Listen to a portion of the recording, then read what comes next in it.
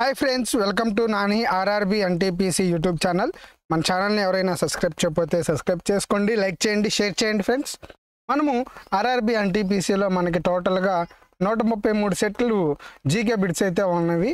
నూట ముప్పై మూడు సెట్లు ఇంటూ ఫార్టీ వేసుకుంటే మనకి దాదాపుగా ఒక నాలుగు వేల దాదాపు ఐదు వేలు బిట్ల దాకా మనం చెప్పుకుంటాము. ఓకేనా? ఈ ఐదు వేల బిట్ల సిరీస్లో మనం ఈరోజు పన్నెండవ సెట్ని చేసుకుంటున్నాము.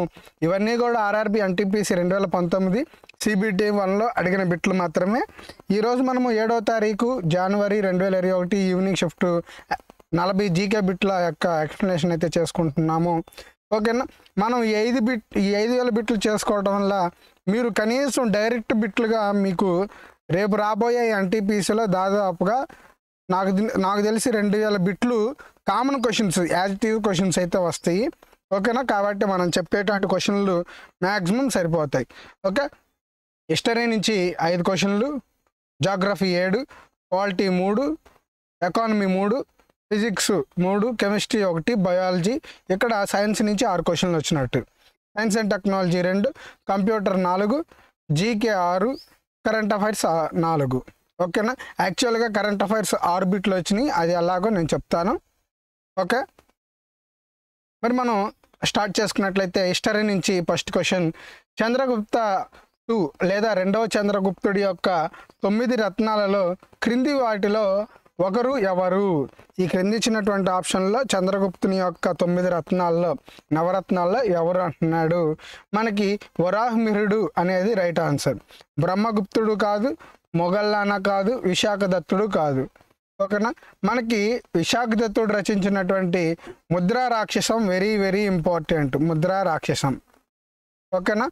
ఇది మౌర్యుల కాలం గురించి చెప్తుంది. మౌర్యులు వాళ్ళ యొక్క రాజ్య స్థాపన ఓకేనా? ముద్రుడు అనేటువంటి రాక్షసుని ఎలా చంపారు? అలాగే దేవికి మరియు చంద్రగుప్తునికి మధ్య జరిగినటువంటి వివాహాన్ని లేదా వాళ్ళ యొక్క మధ్య సంబంధాన్ని వివరిస్తూ దేవి చంద్రగుప్తుని రచించింది విశాఖ దత్తుడు ఓకేనా? బ్రహ్మగుప్తుడు. ఈయన ఒక గణిత శాస్త్రవేత్త. ఓకేనా? అలాగే మొగల్లానా అనేటువంటి వ్యక్తి బు- బుద్ధుని యొక్క శిష్యులు మొగల్లానా గు చంద్రగుప్తుని రెండవ చంద్రగుప్తుని ఆస్థానంలో ఉన్న నవరత్నాలు ఎవరంటే అమరసింహుడు. ఇతను రచించింది అమరకోశ. ధనర్ ధన్వంతరి. ఓకే? హరిసేనుడు. హరిసేనుడు కాళిదాసు వెరీ వెరీ ఇంపార్టెంట్ అపానక శంకుడు వరాహమిహ్రుడు ఇంపార్టెంట్ వరారుచి ఇది బేటా బేతాల భట్టు. ఓకే వీళ్ళందరూ. మన చా మీకు ఈ పీడిఎఫ్ కనుక కావాలనుకుంటే మన యొక్క వాట్సాప్ ఛానల్ వాట్సాప్ ఛానల్లో ఇచ్చాను. మీరు అక్కడికి వెళ్ళి ఇక్కడ మీకు వాట్సాప్ ఛానల్ లింక్ డిస్క్రిప్షన్లో ఇచ్చాను. మీరు అక్కడి నుంచి మన వాట్సాప్ గ్రూపులకి మీరు జాయిన్ అవ్వచ్చు. అక్కడ మీకు ఈ పీడిఎఫ్ అనేది లభించిద్ది. మనం అలాగే ఒక యాప్ను కూడా క్రియేట్ చేపిస్తున్నాము. ఇది ఒక వన్ వీక్లో రెడీ అయింది అందులో కూడా మీకు ఈ క్లాసెస్ అనేవి అవైలబుల్లో ఉంటాయి. పీడిఎఫ్లు కూడా ఉంటాయి. మీకు దాదాపుగా ఓన్లీ ఎన్టీపీసీ సిబిటి వలన అడిగిన నియర్లీ ఐదు వేల ఐదు వందల బిట్లు మీకు అక్కడ మీకు లభించడం జరిగిద్ది. ఓకే? కాబట్టి మన యాప్ లింక్ కూడా నేను కొన్ని రోజుల్లో మీకు అప్డేట్ చేస్తాను. మీరు అప్పుడు మన యాప్ను డౌన్లోడ్ చేసుకోండి. భారతదేశంలో అశోకుని శాసనం యొక్క విశదీకరించబడిన ఎపిగ్రఫీ. ఇది మనకి ఇంగ్లీష్ వర్డ్ అనమాట ఎపిగ్రఫీ అనేది. ఎపిగ్రఫీ అంటే ఏమిటని మనకి ఎస్ఎస్సి ఎస్ఎస్సి ఎగ్జామ్స్లో ఇంగ్లీష్ నుంచి క్వశ్చన్ అడుగుతాడనమాట. ఎపిగ్రఫీ అంటే ఏంటని ఓకేనా? ఏ లిపిలో వ్రాయబడింది అంటున్నాడు? ఏం లేదండి. మనకి అశోకుని శాసనాలు అనేటువంటివి కొన్ని బ్రహ్మలిపిలో కొన్ని కరోష్టి లిపిలో ఈ విధంగా వివిధ రూపుల్లో రాయబడినటువంటి కొన్ని కొన్ని శిలాపలకాలు ఉన్నాయి. ఆ శిలాపలకాలని కొంతమంది వ్యక్తులు డీక్రిప్ట్ చేశారు. అంటే ప్రజెంట్ బ్రహ్మలిపి వాడుకలు లేదు లేదు కదా అక్కడ రచించింది ఏంటి? ప్రజెంట్ ఇంగ్లీష్లో ఎలా ఉంది? ఓకేనా ఈ విధంగా డీక్రిప్ట్ చేశారు. దాన్నే విశదీకరించబడిన ఎపిగ్రఫీ అంటున్నారు. అంటే డీక్రిప్షన్ చేయటము. అయితే ఏ లిపిని డీక్రిప్షన్ చేశారంటే మొట్టమొదటిసారిగా బ్రహ్మీ లిపిని. ఓకేనా? అయితే ఈ ఈ డీక్రిప్షన్ చేసినటువంటి అశోకుని శాసనాలను మొట్టమొదటిగా తర్జుమా చేసినటువంటి వ్యక్తి ఎవరనేది మీరు కామెంట్ చేయండి. ఇది ఇంపార్టెంట్ పర్సన్. మనం ప్రీవియస్ సెట్స్లో ఈ క్వశ్చన్ చెప్పుకున్నాము. ఓకేనా? ఎవరు అశోకుని శాసనాలు తర్జుమా చేశారు? బ్రహ్మీ లిపిలో ఉన్నటువంటివి అని మనం చెప్పుకున్నాము. వెళ్ళి చెక్ చేసుకోండి. నెక్స్ట్ మనకి మోడర్న్ ఇండియా నుంచి భారతదేశానికి సం సముద్ర మార్గాన్ని కనుగొన్న మొట్టమొదటి వారు. అదే వ్యక్తి అయితే వాస్కోడి గామా. వ్యక్తి అయితే వాస్కోడి గామా పోర్చుగీస్ వాళ్ళు. రైట్ ఆన్సర్ వచ్చేసరికి ఇంగ్లీష్ కాదు ఫ్రెంచ్ కాదు ఫ్రెంచ్ కాదు పోర్చుగీస్ అన్నమాట. ఓకేనా? పోర్చుగీస్ వాళ్ళు. వాస్కోడి గామా ఏ దేశస్తుడు పోర్చుగా పోర్చుగల్ పోర్చుగీస్ దేశస్తుడు ఇతను ఎప్పుడొచ్చాడు? పద్నాలుగు వందల తొంభై ఎనిమిదిలో ఎక్కడికి వచ్చాడు కాలికట్ కోజికోడ్. ఓకేనా? ఇది సముద్ర తీరం పశ్చిమ సముద్ర తీరము ఓకే? నెక్స్ట్ మనకి ఖిలాఫత్ మూమెంట్ గురించి ప్రతి డైలీ షిఫ్ట్లో వస్తానే ఉంటున్నాయి మీరు గమనించే ఉంటారు. నిన్న నిన్న జరిగినటువంటి సెట్ సెట్ లెవెన్లో కూడా నేను మీకు ఎక్స్ప్లెనేషన్ చేశా. ఖిలాఫత్ మూమెంట్ గురించి పూర్తిగా ఎక్స్ప్లెనేషన్ చేశాను. మీరు అక్కడికి వెళ్తే ఒకసారి మీకు ఈ క్వశ్చన్కి ఆన్సర్ చేయగలుగుతారు. అది కనుక వింటే మీరు ఆ ఈ క్వశ్చన్కి ఆన్సర్ చేయగలుగుతారు. భారతదేశంలో ఖిలాఫత్ ఉద్యమం గురించి సరి అనేది ఏమిటి? అసలు మనం కొన్ని బీసెక్ డీటెయిల్స్ మాట్లాడుకుందాము. ఖిలాఫత్ ఉద్యమం అంటే ఏమిటంటే మనకి ఖలీఫా అనేటువంటి పదవి ఉంది. ఇది ఎవరిదంటే ముస్లిం మత పెద్దలు అన్నట్లుగా. ముస్లిం సామ్రాజ్యానికి అధిపతి అన్నట్లుగా. అంటే ఆ మతానికి అధిపతి. ఈ ఖలీఫా ఎక్కడ ఉంటాడు టర్కీ. అయితే అప్పుడు టర్కీని పరిపాలిస్తున్నటువంటి రాజు లేదా సుల్తాన్. ఇప్పుడు వాళ్ళు ముస్లింని మనం ఎక్కువగా సుల్తాన్ అంటాం కదా. టర్కీని పరిపాలిస్తున్నటువంటి సుల్తాన్ ఎవరు? Mustafa Kemal Pasha. ఓకేనా? ముస్తాఫా కెమల్ పాషా అని రాస్తారు ఇంగ్లీష్లో అయితే. తెలుగులో పాషా. ఓకేనా? ఈయన టర్కీ యొక్క సుల్తాను. ఈయనేమనుకుంటాడు? ఇతను ఈ ఖలీఫా పదవిని రద్దు చేయాలి. అసలు ఈ ఖలీఫా ఉండకూడదని టర్కీలో ఒక తిరుగుబాటును తీసుకొస్తాడు. ఆ తిరుగుబాటు పేరే యంగ్ టర్కీ ఉద్యమము. ఆ తిరుగుబాటు పేరే యంగ్ టర్కీ ఉద్యమము. ఈ ఖలీఫా పదవి తీసివేయాలని మనకి ముస్తఫా కెమల్ పాషా ఈయన తీసివేయాలని చూస్తుంటే మన ఇండియాలో ఉన్నటువంటి ఆలీ సోదరులు అంటారన్నమాట. ఆలీ సహోదరులు ఈ ఖలీఫా పదవి ఉండాలని చెప్పి మహాత్మా గాంధీ గారి దగ్గరికి వెళ్ళి ఒక ఖిలాఫత్ ఉద్యమాన్ని స్థాపించారు. ఇది మన ఇండియాలో. అలాగే కొంతమంది పెద్దలు కూడా మన ఇంగ్లాండ్ ప్రభుత్వం దగ్గరికి వెళ్ళి ఇంగ్లాండ్ ద్వారా కూడా చర్చలు జరిపారు. కలిపా ప్రభుత్వం ఉండాలని. ఇది దాదాపుగా మనకి ఎప్పుడు జరిగింది?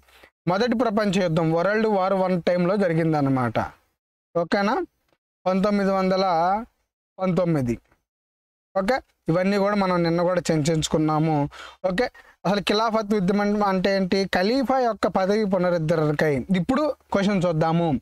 భారతదేశంలో ఖిలాఫత్ ఉద్యమం ఎందుకు వచ్చింది ఎందుకు వచ్చింది ఖలీఫా పదవిని ఉంచటానికి. పాకిస్తాన్కి అసలు దీనికి ఏమైనా మనం చెప్పుకున్నామా? లేదు. టర్కీష్ సుల్తాన్కు మద్దతుగా జరిగిన ఉద్యమము. ఖిలాఫత్ ఉద్యమం ఎందుకు వచ్చింది టర్కీలో టర్కిష్ సుల్తాన్కి మద్దతుగా అక్కడ తిరుగుబాట్లు ఏమనెత్తారు ఎవరికి వ్యతిరేకంగా? ఖలీఫాకి వ్యతిరేకంగా టర్కీ సుల్తాన్కి మద్దతుగా. టర్కీ సుల్తాన్కి మద్దతుగా. భారతదేశంలో మొఘల్ రాజులు అసలు మొఘల్ రాజులు ఇంక ప్రస్తావనే లేదు. జలియన్ వాలా బాగ్ అంటే మనకేం గుర్తుకు రావాలి? ఇది రౌల చట్టం గుర్తుకు రావాలి. ఓకే? Next question. క్రింది వారిలో ఎవరు భారత జాతీయ జాతీయవా జాతీయవాద అతివాద నాయకుడు కాదు. అతివాద నాయకుడు కాదు ఎవరు అంటున్నారు బాలగంగాధర్ తిలక్ అతివాద నాయకుడు. ఈయనకి తిరిగే లేదన్నమాట. ఓకేనా? బిపిన్ చంద్రపాల్. లాల్ బాల్ పాల్. ఇది మనకి నానుడి. ఓకేనా? అలాగే అరబిందో ఘోష్ కూడా. లాల్ బాల్ పాల్ తర్వాత మనకి అరబిందో ఘోష్. ఈ వ్యక్తి కూడా మనకి అతివాద నాయకుడు. సురేంద్రనాథ్ బెనర్జీ మనకి మితవాద నాయకుడు. ఈ అతవాదులు మితవాదులు ఎక్కడ విడిపోయారు అని అడుగుతాడు సూరత్ సమావేశంలో. సూరత్ సమావేశం ఎప్పుడు జరిగింది? పంతొమ్మిది వందల ఏడు. ఇది ఆల్రెడీ ప్రీవియస్ ఇయర్ క్వశ్చనే ఇంపార్టెంట్ గుర్తుపెట్టుకోండి.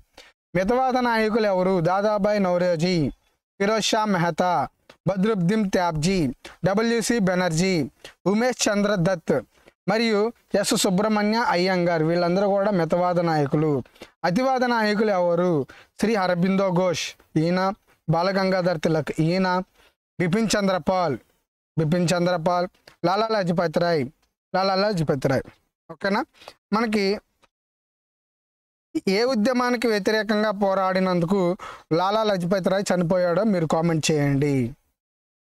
నెక్స్ట్ మనం చూసుకున్నట్లయితే ఎన్టీపీసీ గురించి మనం గ్రా గ్రాడ్యుయేషన్లో ఎన్టీపీసీకి ఒక మీరు ఏదైనా పోస్ట్కి ఎగ్జామ్కి అప్లై చేస్తే అసలు మీరు ఎన్ని ఎగ్జామ్స్ రాయాలి ఎలా రాయాలి మీరు అప్లై చేసుకున్నటువంటి పోస్ట్కి typing post typing exam pass అవ్వాలా లేదా సైకోమెట్రిక్ టెస్ట్ పాస్ అవ్వాలా సైకోమెట్రిక్ టెస్ట్ ఎగ్జామ్కి రాయాలంటే మీరు ఏ మెడికల్ సర్టిఫికేట్ తీసుకువెళ్ళాలి అలాగే పీడబ్ల్యూడి క్యాండిడేట్ టైపింగ్ టెస్ట్కి వెళ్ళాలంటే ఏ సర్టిఫికేట్స్ తీసుకువెళ్ళాలి ఇలా ప్రతి ఒక్కటి కూడా మనం ఏ టు జెడ్ ఇంకా మీకు అసలు వేరే వీడియోతో పనే ఉండదు వేరే ఇన్స్టిట్యూట్తో పనే ఉండదు. మన ఛానల్లో ఈ వీడియోలో మీకు ఈ వీడియో ఇది తమ్మునేలు. ఈ వీడియో కనుక మీరు చెక్ చేసుకున్నట్లయితే మీకు ఎగ్జామ్ ప్యాటర్న్ అర్థమైద్ది. మెడికల్ వీడియోస్ మెడికల్ డీటెయిల్స్ అర్థమవుతాయి. స్టేషన్ మాస్టర్ డీటెయిల్స్ ఏంది ఎగ్జామ్స్ ఏమేమి ఉంటాయి. ఓకేనా? ఇవన్నీ కూడా మీకు ఇందులో ఎక్స్ప్లెనేషన్ చేశాను. ఓకే. అలాగే మనం మ్యాథ్స్ బిట్లు సిరీస్ కూడా స్టార్ట్ చేసాము దానికి సపరేట్ ప్లేలిస్ట్ ఉంది. వెళ్ళి చెక్ చేసుకోండి. అలాగే పీడబ్ల్యూడి క్యాండిడేట్స్ అప్లికేషన్లో ఏ విధంగా ఇవ్వాలి? స్క్రాప్ డీటెయిల్స్ ఏమేమి ఇవ్వాలి? వాళ్ళు ఏ ఏ ప్రూఫ్లు సబ్మిట్ చేయాలని నేను ఈ వీడియోలో చెప్పాను. అలాగే ఆర్ఆర్బి ఎన్టీపీసీ ఎగ్జామ్ సెంటర్స్ ఎక్కడ పడతాయి? ఈ ఈ document verification medical training duty ఎలా ఉంటాయి? ఇవన్నీ కూడా నేను అక్కడ చెప్పాను. వెళ్ళి చెక్ చేసుకోండి. ఇప్పుడు పాలిటీ నుంచి మనకి మూడు క్వశ్చన్లు వచ్చినాయి. ఇది పాలిటీలోనే కరెంట్ అఫైర్స్ బిట్ పాలిటీ నుంచి వచ్చినటువంటి కరెంట్ అఫైర్స్ బిట్. కాబట్టి ఇది కర నేను ఇక్కడ మీకు ఫస్టే చెప్పాను. యాక్చువల్గా కరెంట్ అఫైర్స్ బిట్లు వచ్చింది ఆరు బిట్లు వచ్చినాయి కానీ ఇక్కడ మీకు నాలుగే చూపించాను. ఎందుకు? నేను ఇక్కడ పాలిటీలో చేర్చాను అనమాట ఓకేనా? అక్టోబర్ రెండు వేల ఇరవై నాటికి భారతదేశ అటార్నీ జనరల్ ఎవరు? ఈ క్వశ్చన్ ఎప్పుడు ఈ ఎగ్జామ్ ఎప్పుడు జరిగింది? రెండు వేల ఇరవై ఒకటి. కరెంట్ అఫైర్స్ ఎప్పుడు అడిగాడు? నేను లాస్ట్ సెట్లో చెప్తే అన్నీ కూడా రెండు వేల పంతొమ్మిది అడిగాడు. ఇప్పుడు రెండు వేల ఇరవై అడుగుతున్నాడు. ఓకేనా? రెండు వేల ఇరవైలో భారత అటార్నీ జనరల్ ఎవరు? కేకే వేణుగోక గోపాల్ గోపాలన్. అయితే ప్రస్తుతం ఉన్నటువంటి వ్యక్తి ఎవరు? రెండు వేల ఇరవై నాలుగు అక్టోబర్ కూడా ఆర్ వెంకటరమణి. ఓకేనా? ఆర్ వెంకటరమణి అనేటువంటి వ్యక్తి మనకి ప్రస్తుత అటార్నీ జనరల్. ఓకే? వీళ్ళ యొక్క ఆర్టికల్స్ ఆర్టికల్స్ అయితే ఇంపార్టెంట్. మీరు ప్రతి ఆర్టికల్ గురించి కూడా చదువుకోండి. ఓకే? అక్టోబర్ ఈయన పదహారవ అటార్నీ జనరల్. ఇది ఇంత మటుకు గుర్తుపెట్టుకుంటే సరిపోయిద్ది. నెక్స్ట్ అసలు భారత రాజ్యాంగంలో అంటే ఒరిజినల్ కాన్స్టిట్యూషన్లో ఒరిజినల్ కాన్స్టిట్యూషన్లో మనకి ఎన్ని ప్రకరణలు ఉన్నాయి అంటున్నాడు? తొమ్మిది వందల మూడు వందల తొంభై ఐదు. మూడు వందల తొంభై ఐదు ప్రకరణలు ఉన్నాయి. Next question. రాజ్యసభ మొదటి చైర్మన్ ఎవరు? అంటే మొట్టమొదటి ఉపరాష్ట్రపతి ఎవరని అడుగుతున్నాడు. ఎలా అడిగినా ఇది అడిగినా ఒకటే. ఫస్ట్ ఉపరాష్ట్రపతి ఎవరు? డాక్టర్ సర్వేపల్లి రాధాకృష్ణన్. ఓకేనా? ఈయన మొట్టమొదటి ఉపరాష్ట్రపతి. మనకి రాజ్యసభ ఎప్పుడు ఏర్పాటైందంటే పంతొమ్మిది వందల యాభై రెండు అని పెట్టాలి.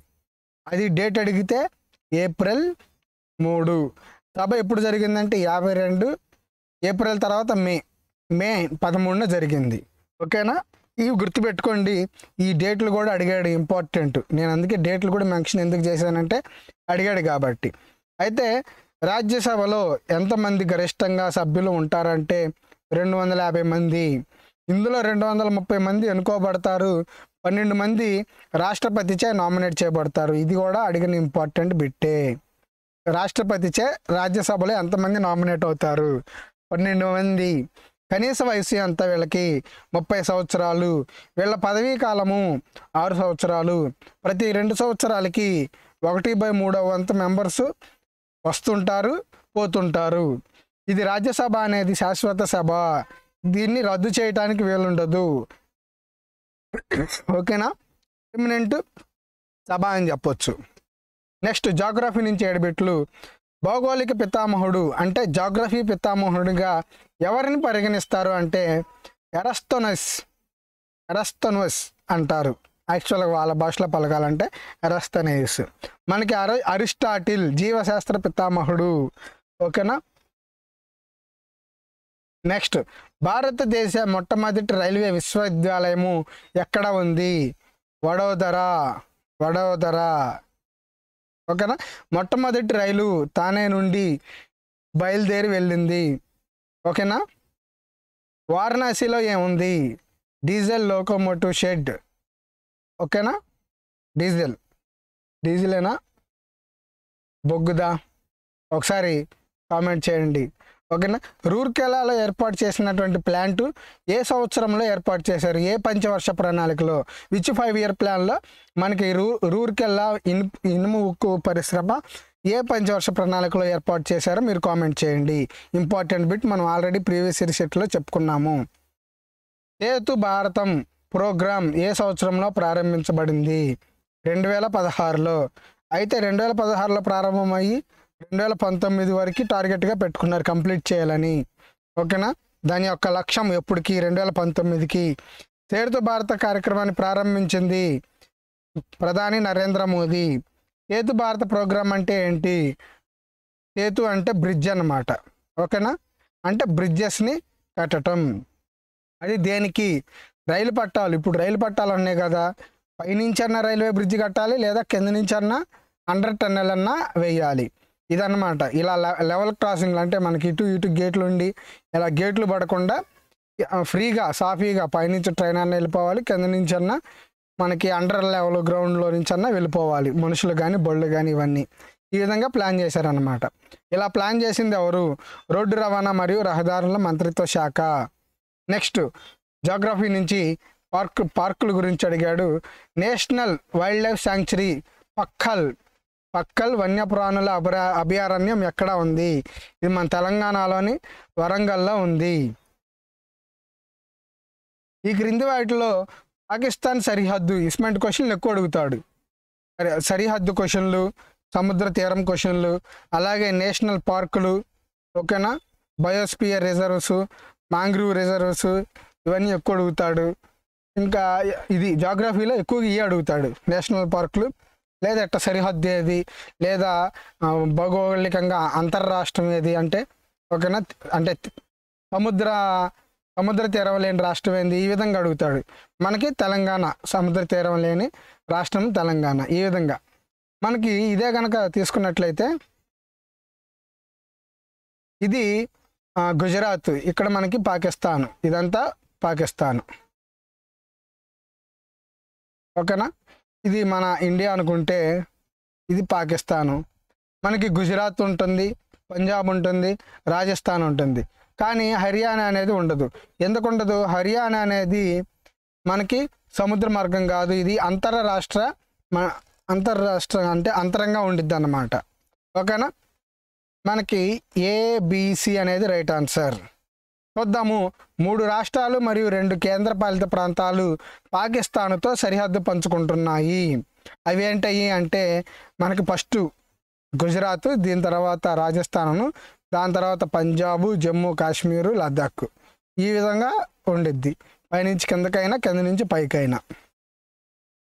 నెక్స్ట్ జాగ్రఫీలో మనకి వరల్డ్ జాగ్రఫీ బిట్లు స్టార్ట్ అయినాయండి. వరల్డ్ జాగ్రఫీ నుంచి మనకి విశ్వం అనే చాప్టర్లో చదువుకుంటాము గ్యాలక్సీల గురించి. మనం ఏ గ్యాలక్సీలో ఉన్నాము? ఏ గ్యాలక్సీలో ఉన్నాము మనము అంటే గ్యాలక్సీలని ఇలా ఒక్క నిమిషం ఫ్రెండ్స్.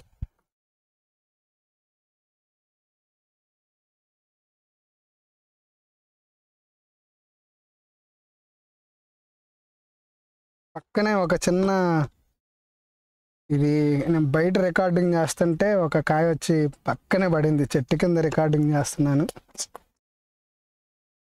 ఇంకా నయం. డివైస్కి ఏం కాల. డివైస్ మీద పడింది సరిగ్గా. ఎప్పుడు ఇంట్లో కూర్చొని చేస్తాను. ఈరోజు పిల్లలు ఉన్నారని బయటకు వచ్చాను. సరే చూడండి. ఇది మన పాలపొంత అనుకుంటే దీనికి దగ్గరగా ఉన్నటువంటి ఇంకొక గెలాక్సీ ఉందంట. ఆ గెలాక్సీ ఏందంటున్నాడు? ఆండ్రోమెడా గెలాక్సీ ఓకేనా? ఇలా పక్క పక్కనే చాలా చాలా గెలాక్సీలు ఇలా ఇలా ఇలా ఇలా ఇలా ఇలా ఇలా మనకి విశ్వం ఇలా విశ్వం అంతా ఉంటాయి అన్నమాట. ఓకేనా? ఇది మన గ్యాలాక్సీ అనుకుంటే ఈ గ్యాలాక్సీ దగ్గరలో ఇక్కడ ఒక గ్యాలాక్సీ దీనికి దగ్గరలో ఇంకొక గ్యాలాక్సీ అలా మనకి సూర్యుడు ఇది సన్ అనుకుంటే తనకి దగ్గరలో ఉన్నటువంటి గ్యాలాక్సీ ఏంటంటే ప్రాక్సిమా సెంటరీ ప్రాక్సిమా సెంట్రీ అనేది సూర్యునికి దగ్గరలో ఉన్నటువంటి గ్యాలక్సీ నాకు ఇంకా ఇదే మైండ్లో ఉందండి. ఈ పైనుంచి ఇది పడతాం. కాయపడి కాయ పడి పగిలింది అనమాట దీని మీద డివైజ్ మీద పగిలింది.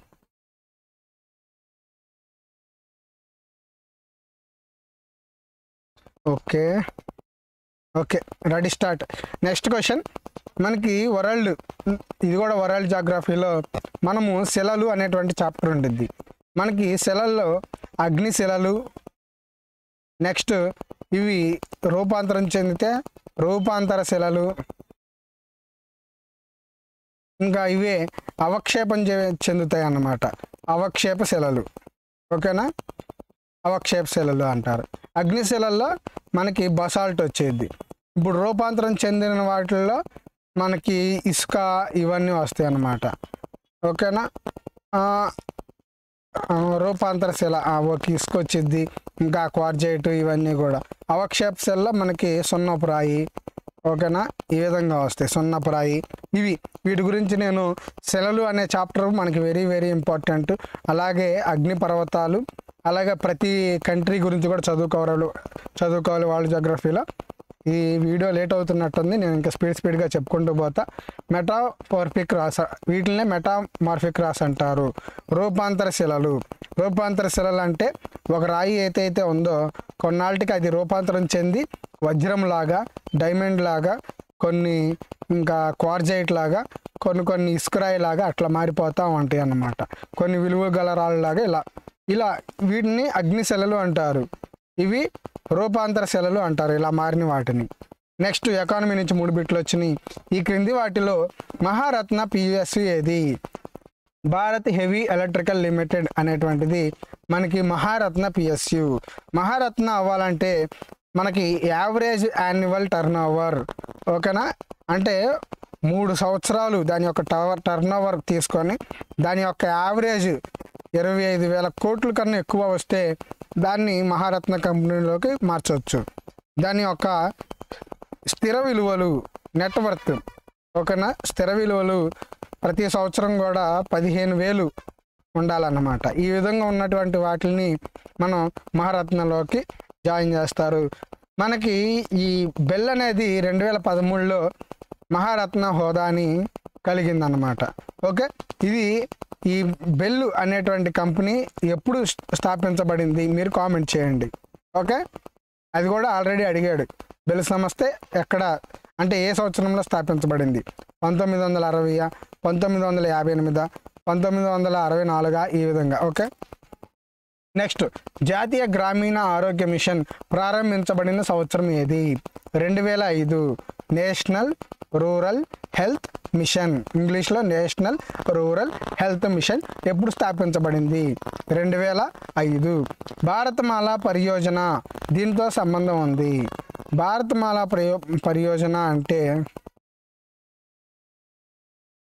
ఇలా మనకి ఇండియా మ్యాప్ అనుకుంటే నాకు అంత ఎగ్జాక్ట్గా రాదు ఏదో గీస్తున్నాను. ఇట్లా ఏవైతే హైవేలు ఉన్నాయో ఓకేనా? మనకి ఏవైతే రహదారులు ఉన్నాయో ఈ రహదారుల యొక్క నిర్మాణాలు ఏదైనా ఆగిపోయినటువంటి నిర్మాణాలు ఈ సముద్ర మార్గాలకి కనెక్టివిటీ సీపోర్ట్లకి ఇలా ప్రతి ఒక్కటి కూడా కనెక్టివిటీ ఉండాలని చెప్పి భారత మా- మాలా పరియోజనని తీసుకొచ్చారు. ఇవి దేనికి? నేషనల్ హైవేస్ అని చెప్పొచ్చు. ఇంగ్లీష్లో చెప్తే నేషనల్ హైవేస్. రైల్వేస్కి కాదు టెలికాం కాదు. అలాగే పోర్టుల కనెక్టివిటీ చెప్తే మనకి సముద్ర సేతు. సముద్ర సేతు కాకుండా అదేదో ఉంది దాని పేరు మ్, గమనం గుర్తు రావట్లేదండి. పోర్టల్ కనెక్టివిటీ చేసేదానికి ఒక ప్రాజెక్ట్ ఉంది. ఆ ప్రాజెక్ట్ నేమో మీరు సాగరమాల. ఓకేనా? సాగరమాల అనేది పోర్టల్ని కనెక్ట్ చేయడానికి ఇది ఎప్పుడు ప్రారంభించారు? భారతమాల పరియోజన అనేది రెండు వేల పదిహేను జూలై ముప్పై ఒకటి. దీని లక్ష్యం పద పది లక్షల కోట్ల రూపాయలతో కొత్త రహదారులు అలాగే అసంపూర్తిగా ఉన్నటువంటి ప్రాజెక్టులను నిర్మించటము కేదార్నాథ్ బద్రీనాథ్ యమునోత్రి గంగోత్రి మధ్య కనెక్టివిటీ స్థాపించటము. మనకి ఫిజిక్స్ నుంచి మూడు క్వశ్చన్లు వచ్చినాయి. సాపేక్షంగా అధిక ఉష్ణోగ్రతలను కలవ కొలవటానికి ఈ క్రింది పరికరాల్లో ఏది ఉపయోగపడుతుంది? కొలిమిలో ఎదురవే ఏం లేదండి ఇప్పుడు మనకి ఒక బర్నింగ్ ఫర్నెస్ ఉంది. ఓకేనా ఇందులో ఇనుముని కరిగిస్తున్నారు. అయితే దాని యొక్క టెంపరేచర్ అంతా కనుక్కోవాలంటే మనం ఏ డివైజ్ని ఉపయోగించి కనుక్కుంటాము? బర్నింగ్ ఫర్నెస్లు అంటే పైరోమీటర్ పైరో పైరో అంటే ఉష్ణం అని అర్థం. ఉష్ణం పైరోమీటర్ అమ్మీటర్ అమ్మీటర్ అంటే కరెంటు లేదా ఓ- కరెంటు కనుక్కునేది. బోలోమీటర్ బోలోమీటర్ అంటే విద్యుత్ నిరోధకతను కలిగిన పదార్థం ద్వారా రేడియంట్ హీట్ని కొలవటం. దాని యొక్క రేడియంట్ హీటు ఓకేనా?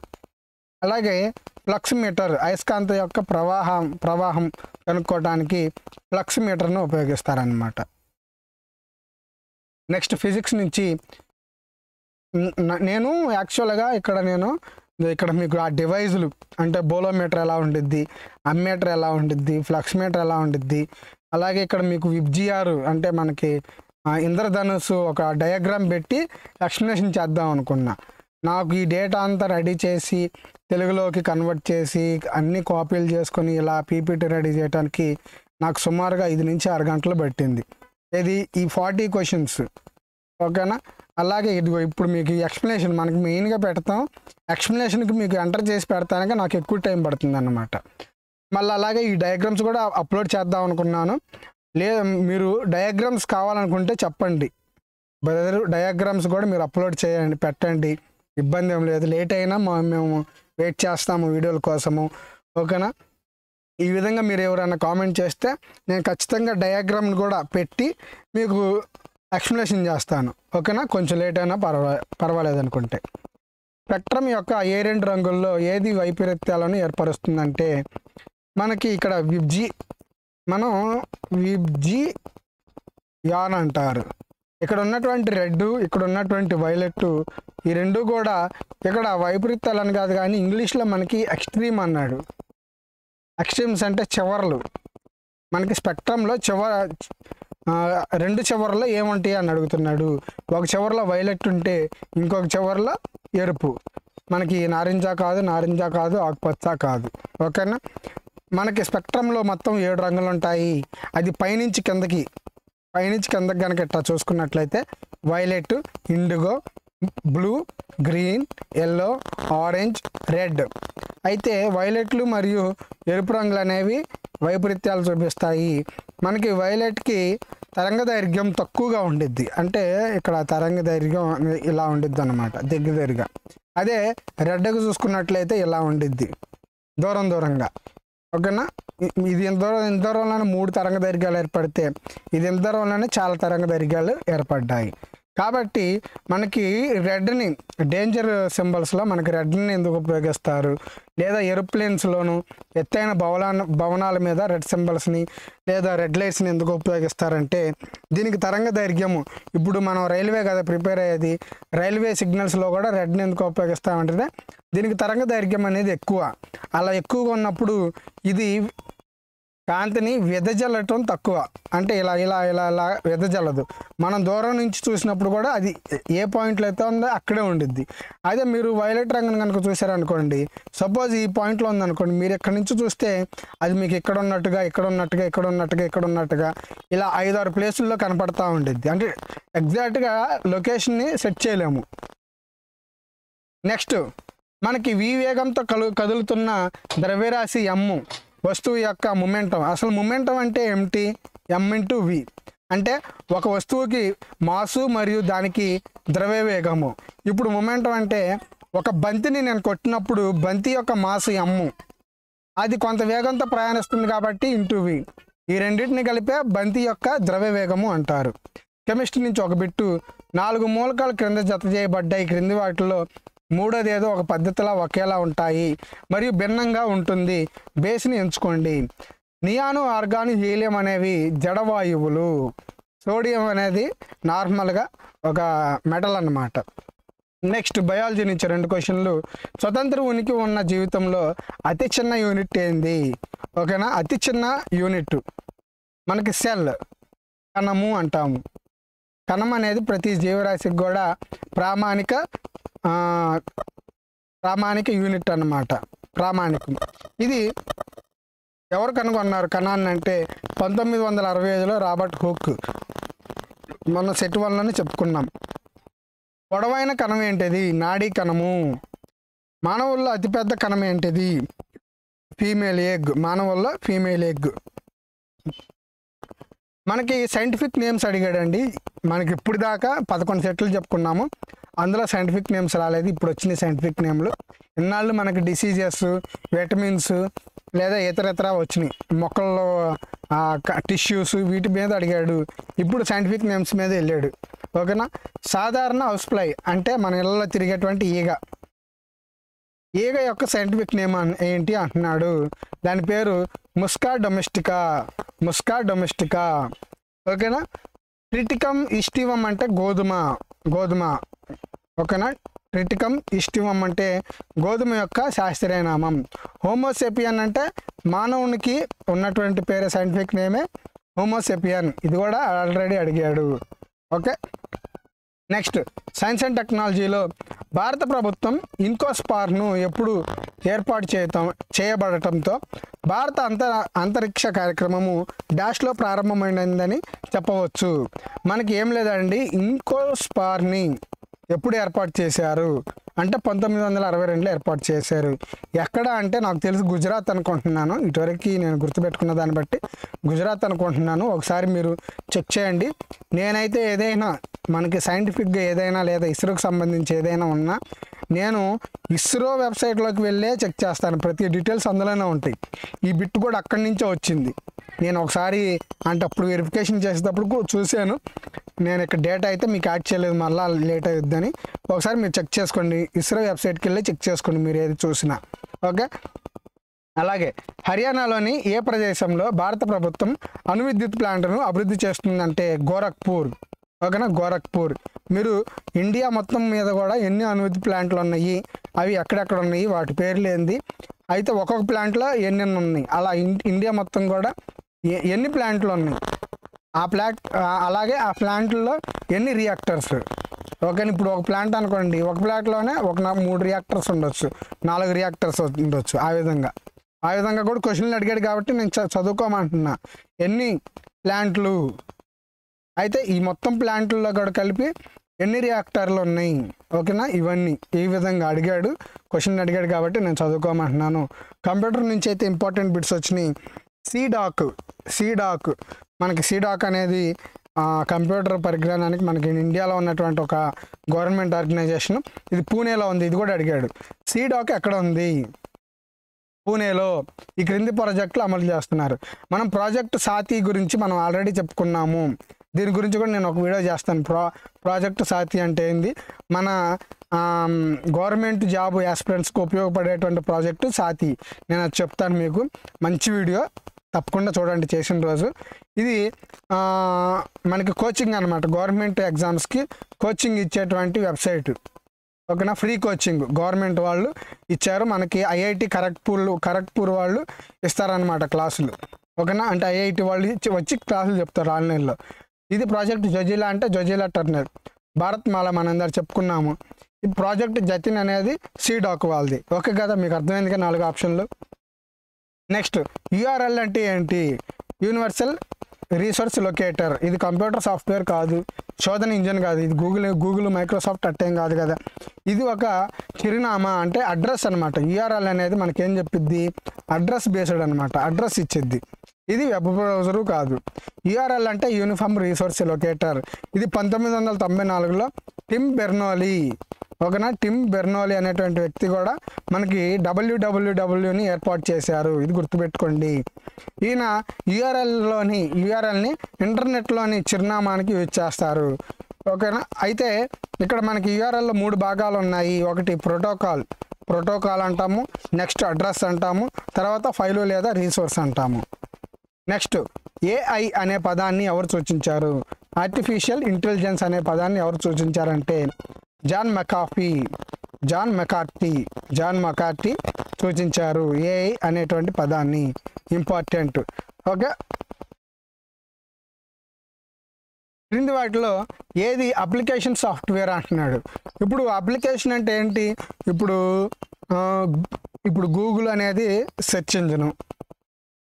మనకి ఇప్పుడు వార్డ్ డాక్యుమెంట్ అనేది అప్లికేషను. ఈ విధంగా ఇప్పుడు ఓఎస్ అంటే సాఫ్ట్వేర్స్ అన్నమాట. ఈ విధంగా మనకి రకరకాలు ఉంటాయి. ఓఎస్ల గురించి తెలుసుకోవాలి. ఓకేనా? మనకి వెబ్ బ్రౌజర్లు అంటే ఏందో తెలుసుకోవాలి. అప్లికేషన్ సాఫ్ట్వేర్లు అంటే ఏంటో తెలుసుకోవాలి. అప్లికేషన్ అంటే మనం దాన్ని యూజ్ చేసి కొంత వర్క్ చేసుకోవటాన్ని అప్లికేషన్ అంటే ఇప్పుడు గ్రాఫిక్స్ను యూజ్ చేసి ఇప్పుడు photo editing video editing cinema ఎడిటింగ్లు ఓకేనా? ఇవన్నీ ఎక్కడ చేస్తాము? ఇప్పుడు మనం గేమ్స్ ఇవన్నీ కూడా గ్రాఫిక్స్ మీదే వస్తాయి అన్నమాట. ఇవన్నీ కూడా వేరే సాఫ్ట్వేర్స్. గ్రాఫిక్స్ అనేదే మనకి అప్లికేషన్ సాఫ్ట్వేర్. జాగ్ర జీకే నుంచి మనకి ఈ ఈ మ్యూజిక్ నుంచి ఇచ్చాడనమాట మ్యూజిక్ ఇన్స్ట్రుమెంట్లు. క్రింది వ్యక్తులలో సంతూర్ అనే సంగీత పరికర వాయిద్యంతో సంబంధం లేని వ్యక్తి పండిత్ శివకుమార్ శర్మ ఇంపార్టెంట్ అసలు సంతూర్ గురించి అడిగితే పండిత్ శివకుమార్ శర్మ గురించి అడుగుతాడు. ఆ తర్వాత తరుణ్ భట్టాచార్య భజన్ సపోరి వీళ్ళ ముగ్గురు కూడా సంతూర్ వాళ్ళే. ఓకేనా? అయితే ఉస్తాద్ అజ్మల్ అలీ ఖాన్ అనేటువంటి వ్యక్తి సరోద్ వాద్యకారుడు. ఈయన్ని సరోద్ సామ్రాట్ అంటారు. ఉస్తాద్ అమ్జద్ అలీ ఖాన్ని సరోద్ సామ్రాట్ ఇది ఎస్ఎస్సిలో అడిగిన ప్రీవియస్ ఇయర్ క్వశ్చన్ ఈయనకి పద్మభూషణ విభూషణ్ రెండు వేల ఒకటిలో పద్మభూషణ్ పంతొమ్మిది వందల తొంభై ఒకటిలో పద్మశ్రీ పంతొమ్మిది వందల డెబ్బై ఐదులో ఇచ్చారు. అయితే షహనాయా ప్లేయర్స్ చూసినట్లయితే బిస్మిల్లా ఖాన్ ఇంపార్టెంట్ పర్సన్. సితారా సితారా వాయించేది పండిత్ రవిశంకర్ నిఖిల్ బెనర్జీ విలాయత్ ఖాన్. విలాయత్ ఖాన్ ఇంపార్టెంటే రవిశంకర్ ఇంపార్టెంటే. ఆ తర్వాత తబలా. మనకి ఫాదర్ అల్లారక్క ఈయన వాళ్ళ సన్ను జాకీర్. జాకీర్ హుస్సేన్ సన్ అయితే ఇతను ఫాదరు. అల్లారక్క. అలాగే కిషన్ మహారాజు పండిత్ కిషన్ మహారాజ్. నెక్స్ట్ సీప్లేన్ సర్వీసులను నిర్వహిస్తున్న మొట్టమొదటి దీపం ఏంటంటే అండమాన్ మరియు నికో నికోబార్ దేవి. ఇవి ఎప్పుడు మనకి ఉడే దేశ్ కా ఆమ్ నాగరిక్ అనేటువంటి పాయింట్ త్రీలో అంటే వర్షన్ త్రీలో ఏర్పాటు చేయడం జరిగింది. పోర్ట్ బ్లేయర్ హావ్లాక్ దీపంలో ఉందన్నమాట. ఓకేనా ప్లోట్ పోర్ట్ బ్లేయర్ దగ్గర మనకి స్లీ సీ ఎయిర్ప్లేన్ అంటే ఇదంతా సముద్రం అనుకుంటే ఇలా సముద్రంలో ఒక ఎయిర్ప్లేన్ దిగి ఎలా వచ్చిందో చూసారా ఓకేనా? అది సి ఎయిర్ప్లేన్ అన్నమాట. Okay? Next. Yellow vest. Yellow vest. Yellow vest. ఉద్యమము ఏ దేశానికి సంబంధించిందంటే ఫ్రాన్స్. ఇది వరల్డ్ హిస్టరీ పాయింట్ వెళ్ళి చెక్ చేసుకోండి. నెక్స్ట్. నోబెల్ బహుమతి ప్రధాన సంస్థ స్వీడిష్ అకాడమీ దీంతో సంబంధం ఉంది. అంటే స్వీడిష్ అకాడమీ దేన్ని ప్రదానం చేసిద్దంటే సాహిత్య అకాడమీ సాహిత్య సాహిత్య నోబెల్ బహుమతిని ఇచ్చిద్ది. అంటే లిటరేచర్ అవార్డుని ఇచ్చేది Swedish academy. Okay? Swedish academy ఇది ఎక్కడ ఉంది స్టాక్ హోమ్ పంతొమ్మిది వందల డెబ్బై ఎనిమిదిలో స్వీడిష్ రాజు గుప్తావంత్ ఇస్తే స్థాపించబడింది ఈ ఏది ఈ అకాడమీ. అయితే నోబెల్ బహుమతిని బౌద్ధిక శాస్త్రం రసాయన శాస్త్రం వైద్యం సాహిత్యం ప్రపంచ శాంతి ఆర్థిక శాస్త్రం ఆరు రంగాల్లో ఇస్తారు. ఒక ప్రపంచ శాంతి అంటే పీస్ ప్రైజ్ ఇచ్చేది నార్వే. పీస్ ప్రైజ్ ఇచ్చేది నార్వే. స్వీడిష్ అయితే సాహిత్యము. ఓకే నోబుల్ బహుమతి పంతొమ్మిది వందల ఒకటిలో ప్రారంభమైంది. ఆర్థిక అంటే మనకి ఎకానమీలో ఇచ్చేటువంటి నోబుల్ బహుమతి పంతొమ్మిది వందల అరవై తొమ్మిదిలో ప్రారంభమైంది. మనకి రెండు వేల ఇరవై నాలుగు కరెంట్ అఫైర్స్ చూసుకుంటే హాంకాంగ్కి హాంకాంగ్కి నోబెల్ ప్రైజ్ లిటరేచర్లో రావడం జరిగింది. ఈమె హాంకాంగ్ గారు. ఈమె సౌత్ కొరియా దేశస్తురాలు నెక్స్ట్ భారతదేశంలో ప్రధాన కార్యాలయాలు కలిగి ఉన్న అంతర్ప్రభుత్వ ఒప్పంద ఆధారిత సంస్థ ఏది అంటే ఐఎస్ఏ. ఐఎస్ఏ అంటే ఇంటర్నేషనల్ సోలార్ అలయన్స్. ఇది భారతదేశంలో ఉంది దీని ప్రధాన కార్యాలయం. ఎక్కడ ఉంది అని అడిగాడు మనకు ఆల్రెడీ ఎన్టీపీసీలో గురుగ్రామ్. ఓకేనా? గురుగ్రామ్ ఎక్కడ ఉంది అంటే హర్యానా. ఈ సంస్థను ఎప్పుడు స్థాపించారు? రెండు వేల పదిహేను. ఇవి మూడు కూడా మూడు బిట్లు. దీనికి అధ్యక్షుడు ఎవరు? ప్రధానమంత్రి. ఓకేనా? ఈ ఈ నాలుగు బిట్లు ఆల్రెడీ అడిగాడు. నెక్స్ట్ నవంబర్ రెండు వేల ఇరవై నాటికి ఒపెక్లో ఎన్ని దేశాలు సభ్యులుగా ఉన్నాయంటే పదమూడు దేశాలు. అప్పుడు ప్రజెంట్ అయితే పన్నెండు దేశాలు ఉన్నాయి. మనకి ఖతార్ అనేది రెండు వేల పంతొమ్మిదిలో రద్దు చేసుకుంది. అంగోలా అనేది రెండు వేల ఇరవై నాలుగు నుంచి వైదొలిగింది. కాబట్టి ప్రస్తుతం పన్నెండు దేశాలు ఉన్నాయి ఒపెక్లో ఇప్పుడు అడిగితే ఒపెక్లో పన్నెండు దేశాలని పెట్టాలి. నెక్స్ట్ కరెంట్ అఫైర్స్ బిట్లు నాలుగు. అక్టోబర్ రెండు వేల ఇరవై నాటికి నేపాల్ అధ్యక్షుడు ఎవరు? విద్యాదేవి భండారి. అయితే రెండు వేల ఇరవై నాలుగులో నేపాల్కి కొత్త అధ్యక్షుడు రామ్ చంద్ర పౌడేల్. రామ్ చంద్ర పౌడేల్ అనేటువంటి వ్యక్తి వచ్చారు. రామ్ చంద్ర పౌడేల్ అనేటువంటి వ్యక్తి రావటం జరిగింది. ఆసియా క్రీడలు రెండు వేల పద్దెనిమిదిలో ఇరవై ఐదు మీటర్ల పిస్టల్ విభాగంలో బంగారు పథకం స్థాపి సాధించింది ఎవరు? రోహిణి సర్నోబాత్ ఎవరు? షూటింగ్లో. ఓకేనా? ఇరవై ఐదు మీటర్లు. Gold medal. ఓకే? నెక్స్ట్ ఒకటి ఫిబ్రవరి రెండు వేల రెండు వేల పంతొమ్మిదిలో మధ్యంతర కేంద్ర బడ్జెట్ని ఎవరు సమర్పించారు? పీయూష్ గోయల్. ప్రజెంట్ అయితే అవసరం లేదు ఈ బిట్టు. నెక్స్ట్ ఇది important bit. Global innovation index రెండు వేల ఇరవైలో భారతీయ దేశం యొక్క ర్యాంకింగ్ నలభై ఎనిమిది. అంటే ఇన్నోవేషన్లో టాప్ నుంచి మనం నలభై ఎనిమిదో స్థానంలో ఉన్నాం. అయితే ప్రజెంట్ రెండు వేల ఇరవై నాలుగులో టాప్ నుంచి మనము ముప్పై తొమ్మిదవ ర్యాంక్లో ఉన్నాయి. అంటే మన యొక్క ఇన్నోవేషన్ ర్యాంకింగ్స్ అనేవి పెరు మెరుగుపరుగుతున్నాయి అని చెప్పొచ్చు. ఓకేనా? రెండు వేల ఇరవై నాలుగులో ఇండియా ముప్పై నాలుగవ స్థానాన్ని తెచ్చుకుంది గ్లోబల్ ఇన్నోవేషన్ ఇండెక్స్లో మరి తర్వాత మనము సెట్ పదమూడుని చేసుకుందాము. దానికోసం వెయిట్ చేయండి. మన ఛానల్ని సబ్స్క్రైబ్ చేసుకోండి. పీడిఎఫ్ కావాలనుకుంటే వాట్సాప్ గ్రూప్లో జాయిన్ అవ్వండి. మన దాంట్లో medical document verification SSC English maths videos ఉన్నాయి. ఓకేనా? మనం ఇంకా ప్రజెంట్ రీజనింగ్ వీడియోస్ అయితే స్టార్ట్ చేయలేదు. ప్రజెంట్ మనం మ్యాథ్స్ ఇంగ్లీషు జీకే ఈ ఈ వీడియోస్ వరకు మనం స్టార్ట్ చేసాము. కాబట్టి మన ఛానల్ని సబ్స్క్రైబ్ చేసుకోండి లైక్ చేయండి షేర్ చేయండి ఫ్రెండ్స్. ఉంటాను ఫ్రెండ్స్. బాయ్.